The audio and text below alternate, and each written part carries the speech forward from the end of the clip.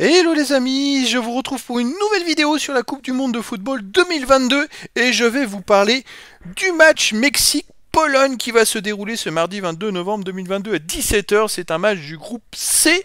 Donc euh, je vais vous donner plein plein plein d'infos, de statistiques euh, sur euh, comment on pourrait se dérouler ce match.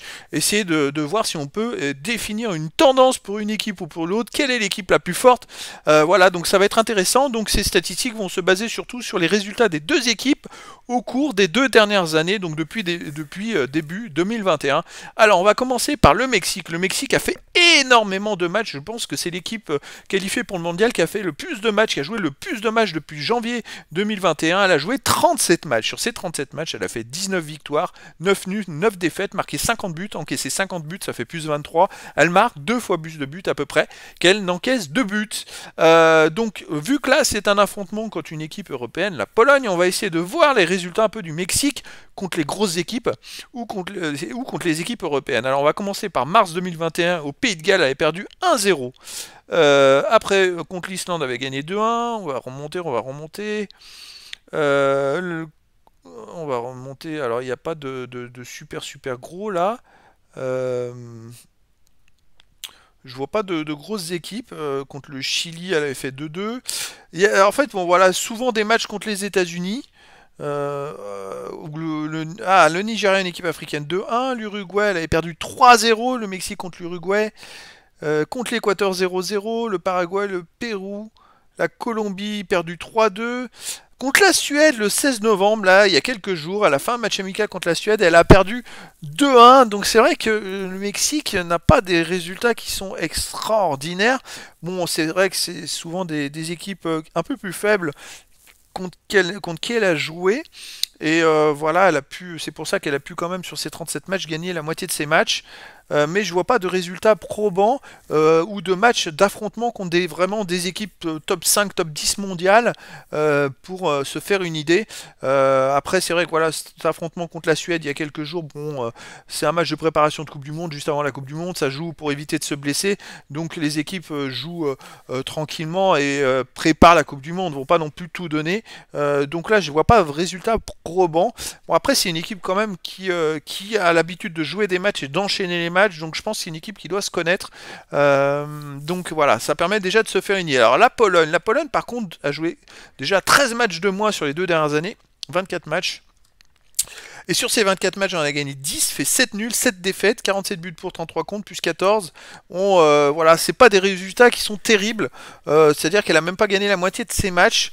Maintenant, on va essayer de voir euh, les adversaires qu'elle a affrontés, parce que c'est important de se pouvoir se, rendre compte. Alors là, elle avait fait une défaite contre l'Angleterre de 1. Euh, une autre défaite contre la Slovaquie, en Suède 3-2. Elle avait battu l'Albanie et San Marin. Bon, bah ça reflète pas grand chose. C'est vrai qu'elle a mis des cartons sur ses victoires. Elle a mis des cartons vraiment contre des petites équipes. 5-0 à nouveau contre San Marin. Contre Andorre 4-1. Euh, bon, la Pologne je dirais, euh, gagne contre des petites équipes. Par contre, contre les équipes un peu plus fortes, si elle a battu la Suède 2-0, le Pays de Galles 2-1, elle a perdu 6-1 la Pologne en Belgique. 2-2 euh, contre les aux Pays-Bas, après un défaite à domicile contre la Belgique. Les Polonais, ils n'aiment pas jouer contre les Belges.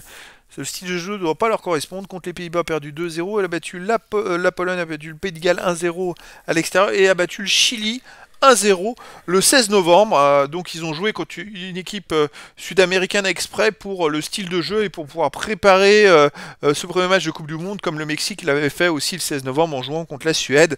voilà, donc là c'est vrai que les amis, il n'y a pas vraiment de tendance qui peut sortir de ce match-là. La Pologne a quand même du mal contre les grosses équipes, euh, du mal à faire des résultats malgré un, super attaquant qui est Lewandowski, euh, qui est l'un des meilleurs joueurs au monde en attaque. Euh, mais la Pologne a du mal à faire des résultats. Les Mexicains, c'est pareil. ils arrivent quand même à, ils ont, puis ils ont, aussi l'agnac. Les Mexicains, ils sont toujours en train de se battre sur le terrain. Donc là, c'est difficile de se faire une idée de ce qui peut ressortir de ce match-là. J'aurais quand même une légère tendance pour une victoire mexicaine de justesse. Alors j'hésite entre le match nul et la victoire, mais c'est vrai que le Mexique, euh, dans les récentes Coupes du Monde, a montré qu'ils étaient capables de faire quelque chose, alors que la Pologne, dès qu'il y a du rythme et des changements de rythme, euh, c'est un peu plus compliqué. Voilà, donc moi je pense plus pour une victoire du Mexique.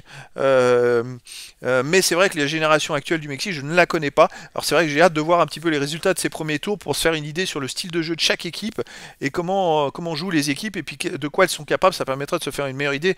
Bon là, c'est vrai que je me base juste sur les résultats, sur les matchs passés, mais ça va être bien de voir les confrontations directes, de voir comment ça joue. on se rendra mieux compte. Puis surtout, il y a peut-être des équipes qui ont peut-être pas fait des bons résultats dans les matchs amicaux, mais qui sont super bien préparés pour la Coupe du Monde et qui sont capables après d'enchaîner les résultats en Coupe du Monde. Voilà. Donc n'hésitez pas à mettre en, commentaire euh, ce que vous pensez de ce match et le score éventuel que, que vous voyez, qui vous voyez gagner, voir si c'est un match nul. Mettez aussi euh, ce que vous pensez et, éventuellement si vous avez des infos, bah, n'hésitez pas à mettre un message. Voilà les amis, je vous dis à très bientôt pour une nouvelle vidéo.